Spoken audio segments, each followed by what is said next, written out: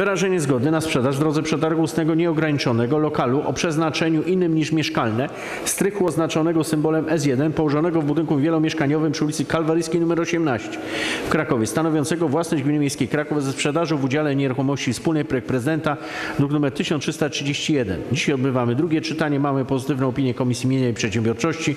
Brak poprawek ani autopoprawek. Czy ktoś z Państwa radnych chce zabrać głos?